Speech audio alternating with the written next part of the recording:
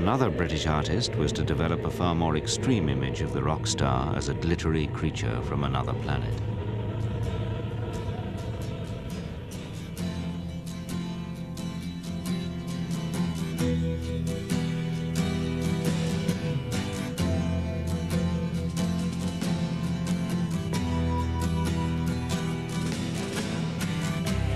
Ground control to Major Tom.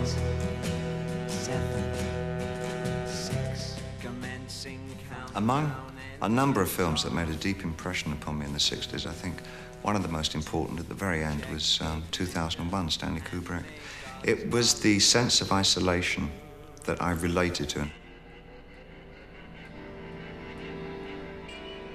That, in combination with a number of other elements, set the pattern for a lot of the kinds of music that I wrote and the kind of performances that I gave, and probably predicted my lifestyle for the 70s. This is ground control to Major Tom. You've really made the grade. And the papers want to know whose shirts you wear. I was talking with a friend of mine not so long ago about who also came from suburbia. And you're given the impression that nothing culturally belongs to you, that you are sort of in this wasteland. And I think there's a passion for most people that have a, an iota of sort of curiosity about them to escape and get out and try and find who one is and find some kinds of roots, you know. And both of us got out for the same reasons. For exactly that a desperation and exhaustion with the blandness of where we grew up. David Jones became David Bowie and trained in theatre and mime before starting to do a series of mainly folk-based albums. Apart from the early success of Space Oddity in 1969, his record sold very poorly. Until his wife Angie suggested a bold publicity move. I, I knew I had a, I knew I had a job in there somewhere, and, and, and it was a dirty job, but somebody had to do it, and I, I was the man for it. Um, or rather, I was the androgyne for it.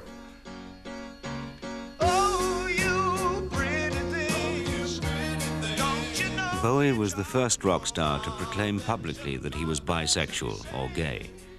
He had already posed for the cover of one album, The Man Who Sold the World, in a dress. Although this album cover was changed by the record company for its US release to an image that was thought to be more acceptable to the American market.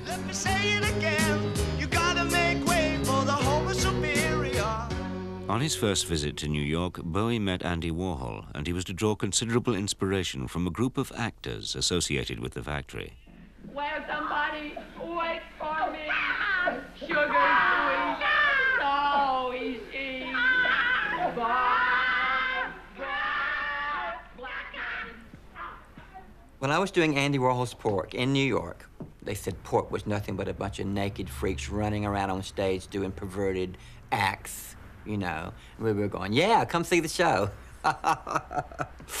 anyway, when Bowie and Angela came to see Pork and she started to meet all the cast of Pork, people were dyeing their hair purple and green. Lee was coloring his hair with magic markers.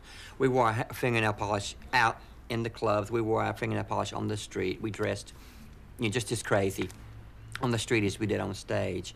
Uh, Angie began to push David in that direction. Without any of that, David would have just continued having long floppy hair and singing folk songs.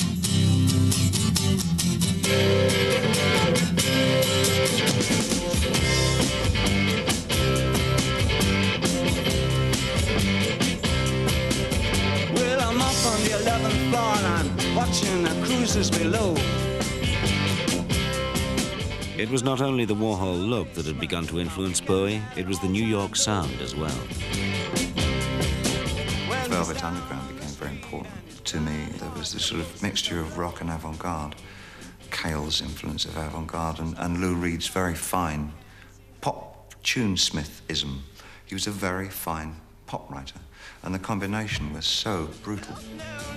While in New York, Bowie got to know Lou Reed, as well as the irrepressible Iggy Pop, who, in imitation of some of the Warhol superstars, had started to cover himself with glitter on stage.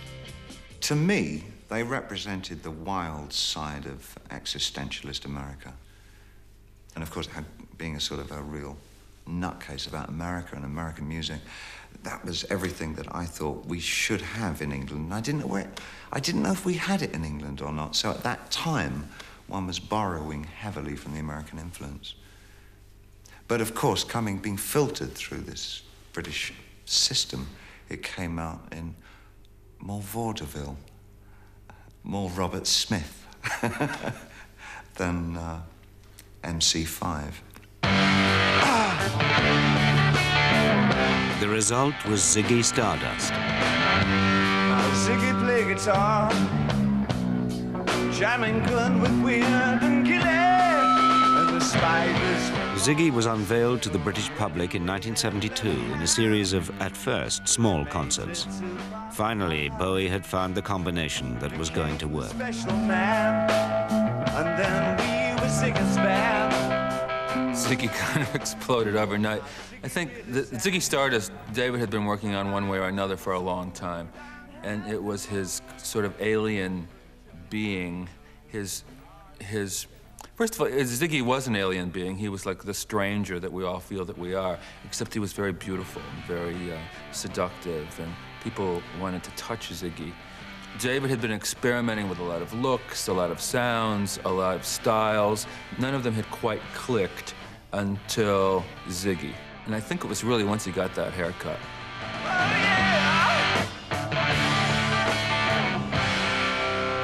Now Ziggy played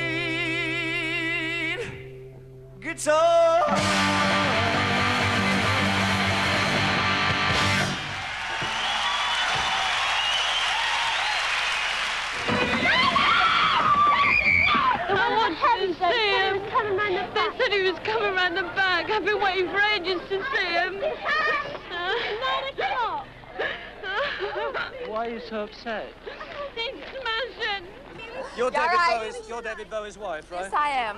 What's it What's it like with all these girls loving your husband so much? standing here? Absolutely fabulous. Wouldn't you love to be loved by so many?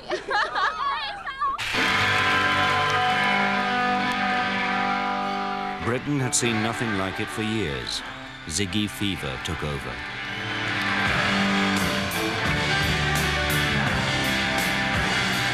Key element of Bowie's chart success in Britain was the hard, muscular sound of his guitar player.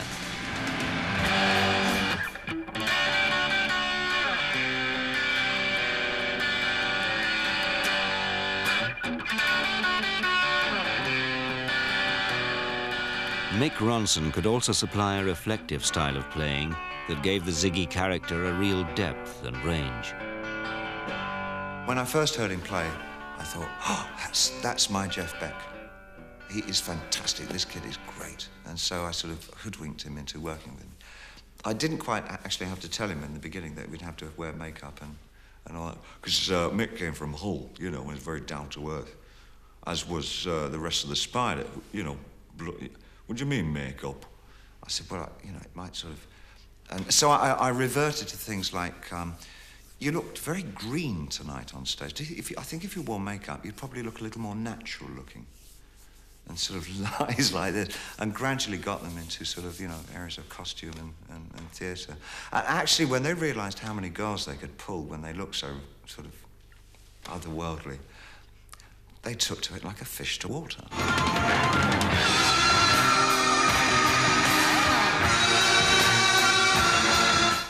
For me, when I was on stage, I was kind of doing what I had to do, you know. I mean, just as a, I guess what I felt I had to do, I felt like the way I played, you know. I think a lot of people saw it as a, a very good sort of counterfoil between me and David, because David would be more delicate and a little more woman-like. And I was kind of like stomping along on the side there, a bit more like a, I can't really say bricklayer, but uh, that's kind of what I mean, you know.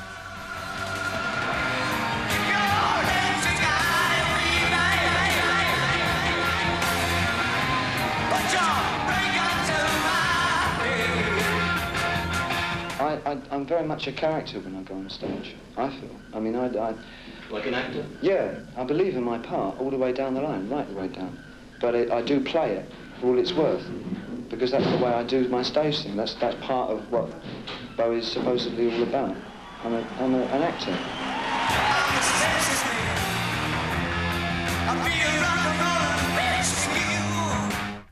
The chief ingredients were to um, de-violence the look of Clockwork Orange.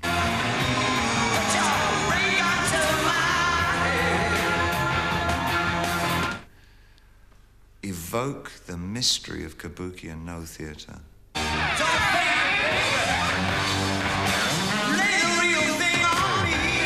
But if you'd asked me at the time what it was I was trying to do, I had simply no idea. All I knew it was, um, and I sound like a parrot saying this, but it's true, and this otherness, this other world, an alternative reality, one that I really wanted to embrace. I wanted anything but the place that I came from.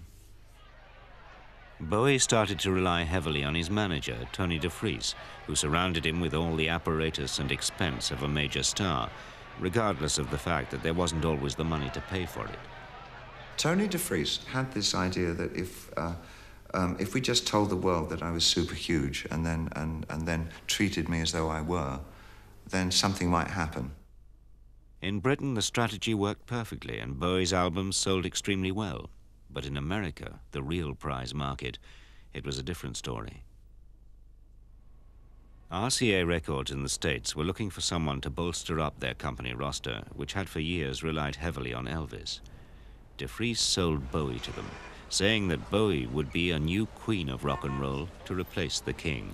But it soon became clear that a mainstream American audience was not yet ready for a rock star from outer space with a penchant for cross-dressing, and Ziggy made no impact on the US charts at all.